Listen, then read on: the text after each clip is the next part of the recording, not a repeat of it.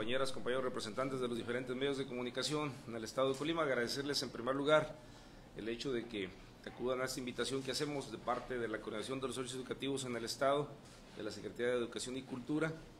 Están conmigo los compañeros maestros que tienen que ver con el tema, el doctor Armando Aguilera, director de Educación Pública, y el compañero Pascual Carvajal, director de Educación Básica. Eh, el tema que nos tiene aquí es un tema de carácter nacional, es un tema en el que se nos pide la participación, la colaboración de todos y cada uno de los integrantes, maestros, maestras, directivos, eh, administrativos, todo, todo lo que tenga que ver con el sector educativo, incluyendo por supuesto a los padres de familia y a la sociedad en general. Tenemos desde la Ciudad de México la invitación, la propuesta que para que seamos todos parte de un trabajo que tiene que ver con análisis, discusión, presentación de propuestas para los nuevos libros de texto gratuito para, de acuerdo a los planes y programas que tenemos en este momento, poder llevar un, trabajo que venga desde la base, que venga desde abajo, que en algunas ocasiones había un pues había una parte de, del sector que tenía razón cuando nos decía, nos mandan la reforma hecha dentro de cuatro paredes por maestros, por maestras que en muchas de las ocasiones no habían tenido contacto prácticamente nunca con un grupo, que nunca habían estado en una escuela, mucho menos en el medio rural, mucho menos en una escuela unitaria, una escuela biodocente, tridocente, y que en esta ocasión tenemos la posibilidad de que todos y cada uno tengamos que hacer lo que tengamos que hacer para aportar. Estamos hablando de una página que nos han enviado desde la Ciudad de México para que el maestro o la maestra conteste una encuesta que tiene que ver con su labor. Eso desde este momento ya, algunos ya lo están haciendo, algunos compañeros nos han manifestado su interés desde un inicio. Y tenemos un trabajo eh, que sería, digamos, la parte medular en este momento, que es el día eh, 10 de marzo, el próximo 10 de marzo, un trabajo en el que estaríamos llevando a cabo esta asamblea de análisis del plan y programas de estudio para el diseño de los libros de texto gratuito para la educación básica. Educación inicial, educación preescolar, primaria, secundaria. Y la idea es que todos seamos partícipes, todos los que quieran, todos los que quieran aportar su granito de arena para que los libros de texto de los niños tengan ahí, mira, esto es lo que yo propuse, esto es lo que salió desde Colima, me queda perfectamente claro que somos un magisterio completamente participativo, tenemos reconocimiento a nivel nacional en esa parte. Bueno, tenemos entonces la propuesta para que una vez que se trabaje desde casa, desde cualquier dispositivo electrónico, se pueda llevar a cabo este trabajo el día 10 de marzo. Son tres sedes.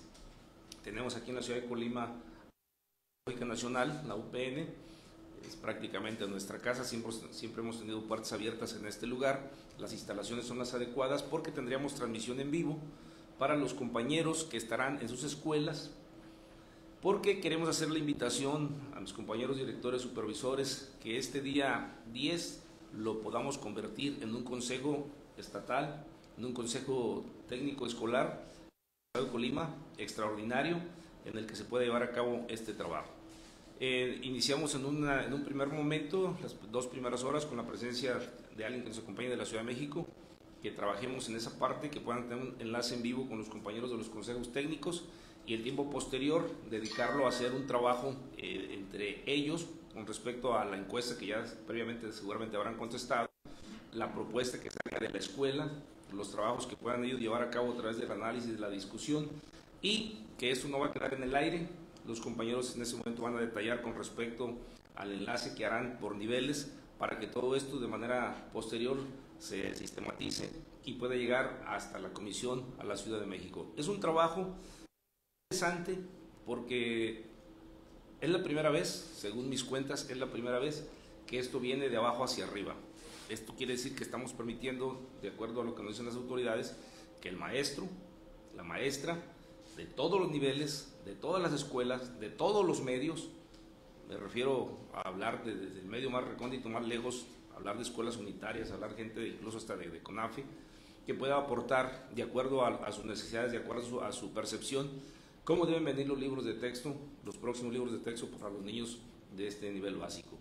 Esa es la parte que tenemos, son varias tareas, son varias etapas, estamos empezando desde ya, hay maestros que empezaron ya, están aquí este, a, disposición de los compañeros a través de la página de la Secretaría, esta encuesta, donde ellos pueden aportar, pueden contestar y pueden eh, incluso consultar, hay un material de consulta, es prácticamente obligatorio leer este material para poder tener una respuesta eh, concreta en lo que se refiere a la encuesta. Y el trabajo que llevaremos a cabo con una buena cantidad de gente que previsto dentro desde la organización, la logística, la participación, los compañeros que estarán en, las diferentes mesas de, mesas de trabajo. Y, le dejo la palabra al profesor Armando Aguilera para que nos detalle esta parte. Sí, muy bien. Eh, muchas gracias, secretario secretario. Como bien lo dice el maestro Adolfo, eh, la idea es romper el esquema que durante tantos años ha venido permeando eh, las reformas educativas de este país. Eh, nosotros entendemos que una reforma educativa debe plantear básicamente la necesidad de superar el estado de cosas a partir de una evaluación de los resultados de las anteriores. Lo cierto es que la historia nos dice que las reformas anteriores nos han planteado una capacitación en cascada derivada fundamentalmente de libros de texto y de plan y programas, que son el fundamento de los libros,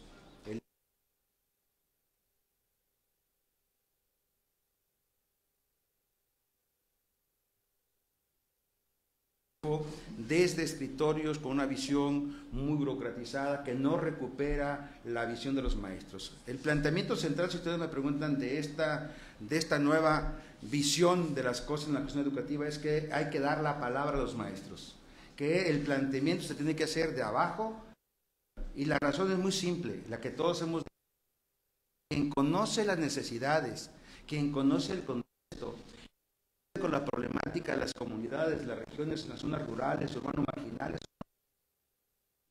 e incluso muchos de ellos se hacen copartícipes de, las situaciones de pobreza, marginalidad que viven eh, eh, eh, como una problemática social en nuestras escuelas. Para la República es fundamental que los maestros tomen la palabra, que es una gran oportunidad para decir su pensamiento, para recuperar sus experiencias. Nadie sabe más que todos juntos y en este asunto de la educación, los y las maestras con mucha o con poca experiencia, con una lectura cercana a la realidad concreta tan compleja, pero tan rica en este país, es una oportunidad verdaderamente histórica para que en esta primera parte que nos llegan a nosotros documentos que dicen así, documentos de trabajo, no documentos definitivos, eh, sino documentos que habrá ser discutidos y analizados. Para esto necesitamos tiempo y estrategias. La primera estrategia es la información y tener la seguridad de que desde cualquier dispositivo y en cualquier lugar del estado de Colima, eh, el profesor y la profesora tuviera acceso a los materiales, para eso el área de tecnologías aquí en la Dirección de Educación Pública y Difusión, se, el mismo día que llegó la información, estaban ya colocando en la pública los materiales que vienen diferenciados. Hay un material que es justamente el marco curricular y el plan de, estudios 2022, que es como el marco en el que se va a mover la reforma, ¿no? donde vienen los nuevos campos este, formativos, los nuevos ejes de aprendizaje. Pero hay cosas específicas, esto hay un programa específico para cada nivel educativo. Y lo importante en esto es la gran importancia que le dan, recuperamos la ética. Hay todo un campo formativo de ética que tendrá que revisarse y trabajarse desde educación inicial, algo que nosotros como docentes habíamos cuestionado siempre, ¿por qué razón dejamos de ver civismo? ¿Por qué razón dejamos de ver historia? ¿Por qué razón dejamos de ver ética en, secundaria? ¿Por qué nos quitaron de la preparatoria la ética? Entendemos que esto es uno de los grandes logros, pero en esto los maestros nos tienen que decir cómo tenemos que hacerlo. Creo que la que estrategia que plantea el señor secretario es importante. Primera fase le llamamos jornadas de análisis y difusión y discusión del plan y programa de estudio de educación básica 2022. Y esta jornada comenzó desde la semana pasada, está continuando y se cierra la primera fase con una asamblea estatal, donde vendrán maestros y maestras de toda la geografía y representativos de los diferentes niveles este, eh, y de, estudio en el Estado para decir su palabra. Haremos mesas de trabajo donde habrá y moderadores a partir de preguntas generadoras muy concretas que tienen que ver justamente con los materiales. Esto es, no podremos contestar la encuesta, no podemos participar en el mes de trabajo si no tenemos la lectura previa de los materiales. La segunda eh, parte de este asunto sería que después de este día, donde el maestro eh, ha accedido, he invitado a los maestros que hagamos un consejo técnico extraordinario, donde al terminar el consejo técnico eh, que, será más o menos en el mismo horario y llevará la misma secuencia que el que se está haciendo en las mesas de trabajo aquí a nivel central, en Colima, en Tecomán y en Manzanillo, donde se abre, hay una apertura que eh, estará centrada en una participación de Max Arriaga, eh, que es el director de materiales educativos a nivel nacional, de aproximadamente una hora y media, dos horas, que planteará justamente el, el asunto de la justificación del por qué y el para qué de esta estrategia a partir de las diez y media de la, mañana, después de esta charla que iniciaría a las 8, las mesas de trabajo se centrarán en analizar el plan y programas de cada nivel educativo. Tienen dos horas para esto, hora y media, dependiendo de lo que los colectivos hagan en sus escuelas, y después llegarían a conclusiones para elaborar un documento como propuesta de mejora de lo que los maestros y maestras consideran que debe mejorarse y cambiarse incluso los planes para ser enviado a través de una liga aquí en las oficinas centrales y sea reenviado a la Ciudad de México. Esa es la primera instancia. Segunda instancia es, hay una liga que también directamente desde la página de la Secretaría, los y las maestras podrán contestar aproximadamente entre 43 y 49 preguntas o indicadores que podrán recuperar si algo quedó por ahí en la mesa del debate y la discusión, este, esta información necesaria. Me hemos platicado la necesidad y la posibilidad con el maestro de regresar la información a los maestros. Los maestros han sido sujetos de muchas, de muchas eh, encuestas, de muchas entrevistas, de muchos trabajos y pocas veces regresamos a la escuela la información. De poco sirve preguntar a un maestro y no regresar la información. Tendremos elementos a partir de las encuestas contestadas que México nos devolverá los, los resultados de las encuestas, de las encuestas y de los trabajos que lleguen del Consejo Técnico para hacer un trabajo de investigación que nos permita decir en Colima los y las profesoras de cada nivel pensamos esto. Las sugerencias que hacemos son estas. Eh, la importancia de este nuevo modelo, creemos que faltaría estas cuestiones y esas cuestiones tendrán que ser sistematizadas, organizadas y regresadas a las escuelas para que sirvan como insumo de eh, los libros, nuevos libros de texto gratuitos que estarán entregando seguramente en el siguiente ciclo escolar, derivados de una discusión análisis a nivel nacional. ¿Cuándo cierra eh, y cuál es la fecha límite para que los maestros y maestras suban la información este, a través de esta guía a nivel nacional? El 25 de marzo. Tenemos tiempo suficiente para que se reúnan, para que lean, para que se organicen y para que contesten esta encuesta y hagan escuchar su palabra y sus propuestas.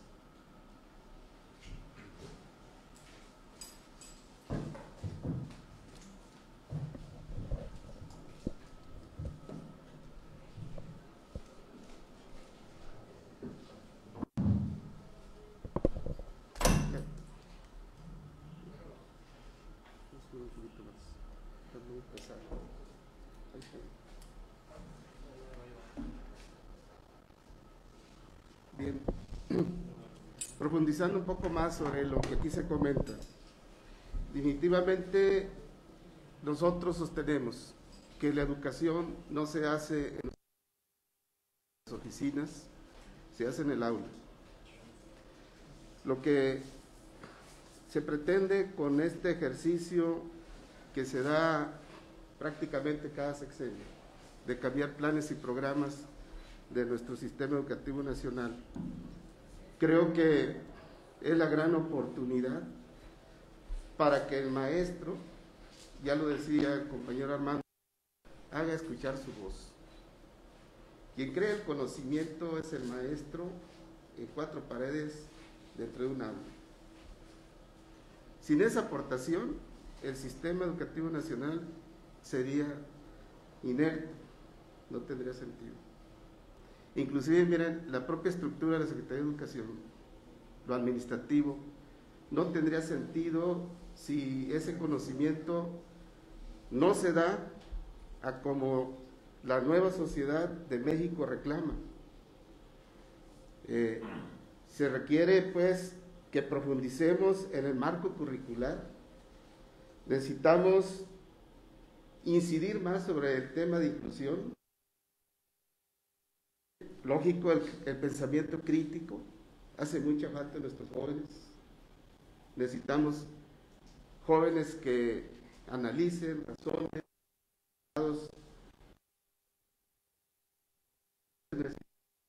cambiar nuestros planes y programas. Es importante fomentar la igualdad de género como marco curricular.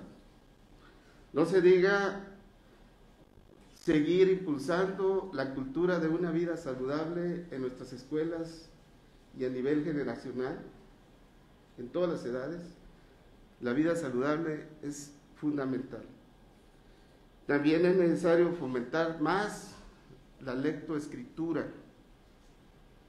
Debemos escritura para promover el aprovechamiento académico y el pensamiento crítico. Es fundamental también la educación estética, que no es muy abordada, pero aquí tenemos la oportunidad de profundizar eh, en esta propuesta de planes y programas. En cuanto a los campos formativos, el campo formativo en lenguajes, creo que el campo formativo en lenguaje de lo humano y lo comunitario tienen que coincidir. No podemos nosotros entender una educación que no se acerque a la comunidad. La comunidad representa el tejido social de un país. Y si y la educación están alejadas de la comunidad, difícilmente vamos a poder resarcir ese tejido social que en la actualidad se encuentra muy dañado. Necesitamos acercar a la escuela a la comunidad. En cuanto al cambio que se promueve desde, las aulas con los docentes que conocen el contexto y las necesidades de sus educantes, es fundamental que el maestro participe es fundamental que el maestro le dé vida a los planes y programas porque son su herramienta de trabajo para que el proceso enseñanza-aprendizaje tenga realmente éxito. Es fundamental que los libros de texto como herramienta inmediata del maestro contengan el sentir del Magisterio Nacional, de todos los trabajadores de la educación. Eso es fundamental. Y es que hacemos una invitación a toda la estructura escolar directiva, desde jefes de sector, supervisores, ATPs, directores de escuela, para que la pirámide la invertan, hay que invertir y hay que poner como centro al maestro, hay que sensibilizar al maestro, hay que darle la confianza al maestro en toda esa estructura administrativa directiva para que participe el día 10 de marzo en nuestra Asamblea Estatal, participe activamente en el Consejo Técnico Extraordinario que se va a llevar a cabo y decirles también que el 10 de marzo no es una, una fecha fatal para que posteriormente no se presenten propuestas. Realmente la fecha fatal va a ser el 25 de marzo, es cuando se va a dejar de recibir eh, los cuestionarios que algunos compañeros generen. Eh, en la liga. Así que reitero nuevamente la invitación para que los directivos asumamos esa responsabilidad, los responsables de los niveles y su servidor como director de educación básica, y que motivemos que el maestro esté presente en esa asamblea estatal del 10 de marzo. De mi parte, vamos a hacer todo lo, lo necesario para que esta asamblea estatal sea un éxito a nivel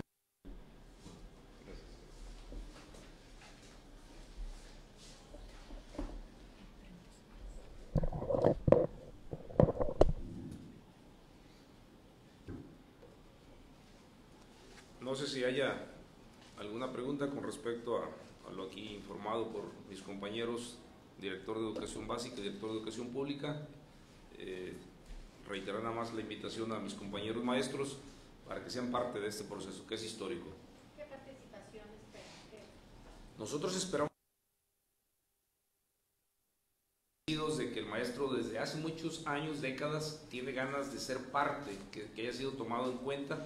Esta es la oportunidad tenemos, vuelvo a repetir, desde el maestro que acaba de incorporarse como tal, que está en la comunidad rural, que algunos de ellos están en escuelas este, bidocentes, que viven la problemática diferente a, a una ciudad capital, a una ciudad grande, y que nosotros estamos convencidos de que eh, este es su momento, esta es su oportunidad de plasmar su sentir. Y se les está tomando en cuenta y yo creo que es una... Yo creo que es la oportunidad para que el maestro en su totalidad este, pueda participar. Estarán en la, en la reunión del día 10 aquí en, las, en alguna de las tres sedes, pero que estarán en su consejo técnico. Y algo que se mencionaba aquí que es muy importante, no solamente contestar y ya, sino regresarle y decirle, esta es la participación de Colima, se, se sistematizan las respuestas que se tuvieron, este es a lo que se llegó de análisis y discusión, como dentro de los consejos técnicos, dentro de lo que se sube a la, a la plataforma, yo creo que es una oportunidad magnífica para que el compañero, como dijo el, el profesor Pascual, sea parte de esta, de esta pirámide que estamos invirtiendo, donde siempre empezaba desde la punta, ahora estamos empezando desde el...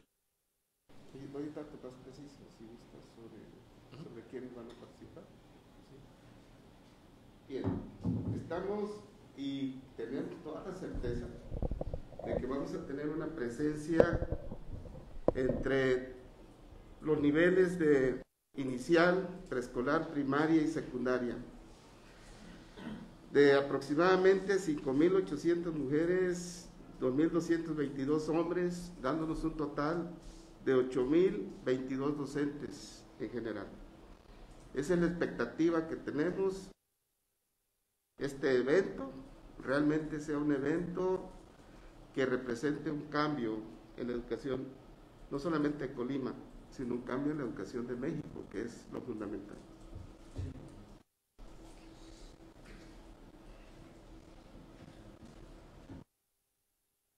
también ¿no? ¿Y cómo le vamos a hacer para que estén todos conectados, ¿no? Entonces, ¿cómo lo hacer para que esto llegue? Bueno, el evento del 10 de marzo es un evento simbólico y significativo, ¿no? Simbólico y significativo porque justamente no podríamos tener un espacio tan amplio que albergar a esta cantidad de docentes en la discusión, que además en términos prácticos y operativos se parece este, enorme, ¿no? No imposible, pero es enorme. Eh, la garantía es que habrá conectividad se estará en una sede que es la UPN, con apoyo técnico, eh, transmitiendo desde la inauguración hasta eh, las conclusiones en vivo por eh, Facebook, por cuenta de Facebook. Primero lo que es la parte general de la asamblea, que es eh, esta parte protocolaria, y la conferencia fundamental, que es el punto de arranque de la discusión. Después habrá eh, grabación y transmisión de las mesas de trabajo de cada uno de los niveles educativos, que también en simultáneo se podrá estar bajando y viendo y trabajando en cada escuela, en cada dispositivo donde esté un profesor del trabajo para guiar la discusión y el análisis de cada consejo consultivo. Y terminando el evento, y ver que las conclusiones se, se podrá hacer la grabación y la, y la, y la este, difusión, la transmisión en directo y en vivo, se va hacer la edición necesaria y básica para poderla subir a la página de Secretaría y los maestros y maestras de turnos vespertinos y nocturnos, al momento de llegar a su consejo técnico, pueden acceder a toda la información y el proceso que se llevó durante toda la mañana grabado y subido ya, este, colocado en la página de la Secretaría. Es un gran despliegue técnico, contamos con un equipo muy profesional y muy capaz en ese sentido y con la colaboración de instituciones, no, tenemos, no teníamos todo el equipo, pero bueno, hemos hecho una buena gestión, hemos, hemos podido crear un equipo de gente muy comprometida con esta, con esta importante actividad y estamos seguros que en esta parte técnica eh, contamos con los elementos suficientes para que esto sea un éxito. Y garanticemos que en cualquier lugar donde hay un profesor, una profesora con esta intención de reunirse y de ver el, el evento y trabajar con los contenidos y subir su opinión, en cualquier lugar lo podrá hacer. Pues gracias, muchas gracias. Yo quisiera preguntarle de otro tema. Este, se anunció por parte del presidente la desaparición de escuelas de tiempo completo. En Colima, ¿cuántas este, están en esa condición y qué va a pasar? ¿no? La Escuela de Tiempo Completo es un programa que tuvo su éxito en su momento, donde se les proporcionaba, además de una cantidad enorme diferente en lo que se refiere al número de horas, también se les proporciona su alimento, este, había la posibilidad de que el niño saliera hasta las 3, 4 de la tarde, prácticamente ya a descansar con una tarea mínima. Se viene la pandemia, no tenía razón de ser, porque era un programa que además este, repercutía en lo del, del, del maestro, del intendente, del administrativo, había una compensación adicional. Este programa se fue eh, poco a poco agotándose, desaparece. Los maestros que cumplían dentro de un mismo plantel educativo sus dos turnos, aquellos que tienen este doble plaza, como le conocemos, fueron reubicados, se abrieron nuevamente turnos vespertinos. Una buena parte de, de escuelas ya desapareció su turno vespertino porque en el edificio mismo se llevaba el horario de las 8 de la mañana a las 4 de la tarde. En este momento no hay escuelas ya de tiempo completo.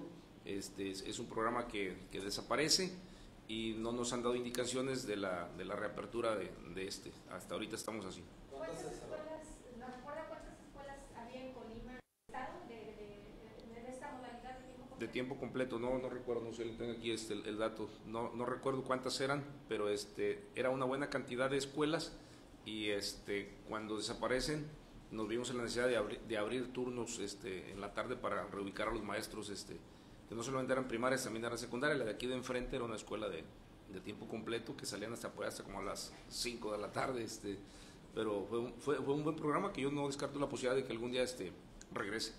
Ahora los horarios de, de las. Los horarios son los normales en las primarias de 8 a 12.30, por la tarde 2 a 6 y media.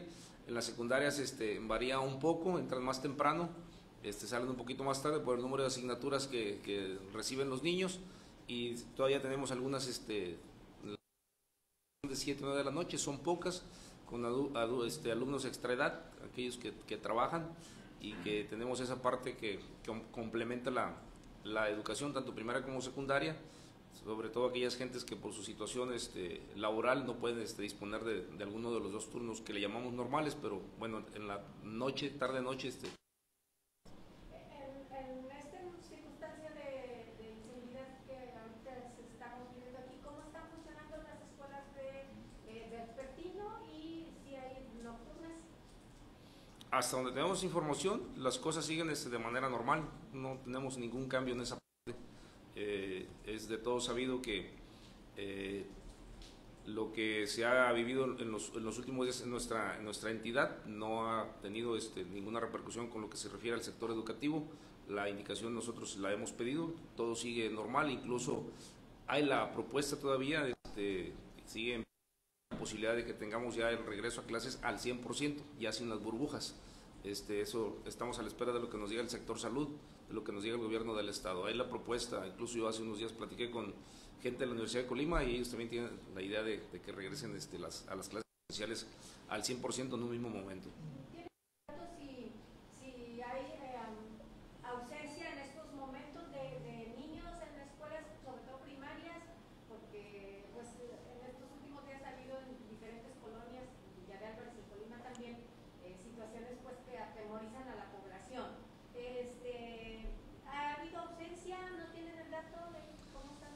Nosotros este, estamos en la idea, hay la propuesta, incluso hoy en la mañana todavía me dijo un profesor de, de cuando pues este, arrancamos con el 100%, estamos preparados, los padres de familia eh, están en la idea de que ya regresemos, de que aprendamos a convivir al 100% con, al 100% con el COVID, que llegó para quedarse, ha disminuido, este, ustedes han escuchado, este, cada vez son menos los casos que se reportan por día, son menos las defunciones, afortunadamente. Entonces, nosotros estamos apostando más a eso, al, al regreso al 100% de las clases presenciales. La aparición de narcomantas en varios planteles educativos a, a- la Secretaría de Educación en el tema de que pueda ser, eh, vaya, una, una situación que estén provocando los, los las personas. Nosotros hemos platicado con, con las diferentes instancias de seguridad, este, nada que ver lo que sucede o ha sucedido este, con el sector educativo, no hay nada, no se relaciona una cosa con la otra para nada. En algunas escuelas hemos visto ya estos protocolos donde hacen algún anuncio. Este, ¿Ya estás implementando en todo el estado o nomás en esta zona comunal? ¿Anuncio de qué, perdón? De unos, unos ejercicios sobre una situación Ah. Hay, un, hay una parte donde nosotros hemos manejado ya que por ahí hay un manual este, donde los maestros les pidieron un favor que por ahí lo desempolvaran, todo el mundo lo tenía desde hace ya algunos años. Hemos hablado de que vivimos en zona sísmica, vivimos en zona de, huracanes, de ciclones, de eru- erupción volcánica. El profe está preparado para ese tipo de simulacros y bueno, esto digamos que es nuevo, pero tiene que ver una cosa con la otra en la, en la preparación. Afortunadamente no, no hemos tenido ni en horarios este, que tiene que ver con los horarios escolares y han sido puntos muy específicos que no, no tienen nada que ver este, con, con los nuestros. Sin embargo, este, el maestro está preparado para esa naturaleza. En el sexenio anterior yo fui parte en la escuela de Tecomán, en dos ocasiones tuvimos que llevar a cabo ese protocolo porque allá afuera este, se dio un, este, enfrentamiento entre dos grupos, en una ocasión un, ladrón cruzó por dentro de la escuela con policías atrás de él, estoy hablando de hace 3, 4 años, y no nos asustamos, estamos preparados para ello, estuvimos recibiendo clases sentados en el suelo todos, lejos de las puertas y las ventanas, esa parte no, yo estoy plenamente convencido de que mis compañeros este, trabajadores de la educación están preparados para todo ello. Gracias a ustedes.